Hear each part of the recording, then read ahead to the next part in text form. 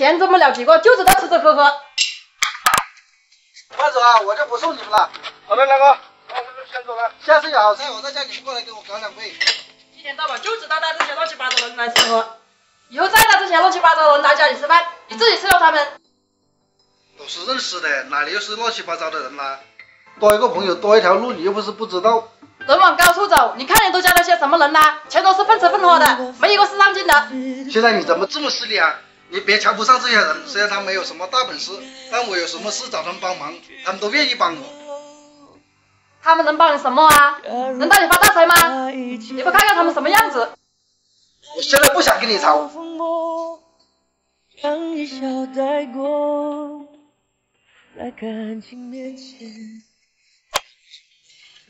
梁哥，中午钓了几条两斤多的鲤鱼，晚上去我家搞两杯。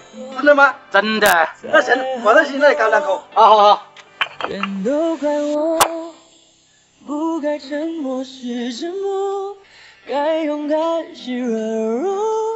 如果不是我误会自己洒脱，让我们难过。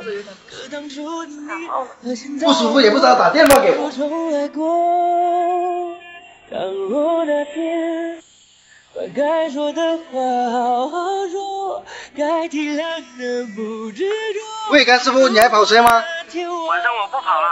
哦，是这样的，我老婆生病了，我想送她去医院，我包医生，你看行不行啊？我现在没空啊，你问一下别的车吧。哦，这样啊。喂，宋师傅，你送我去趟城里好不好？我现在不在家，我在钓鱼呢，没空。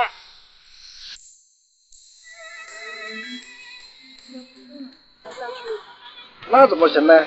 我再问一下我朋友。喂，小田，你现在在忙吗？怎么了，梁哥？你嫂子身体不舒服，没车去城里，你能不能帮帮我想想办法？喂，喂。这就是你所谓的兄弟朋友吗？还是不去了，明天再去。那怎么行呢？就算背，我也把你背到城里去。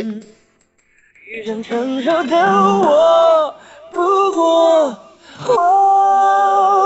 全都怪我，不该沉默是沉默，该勇敢是软弱。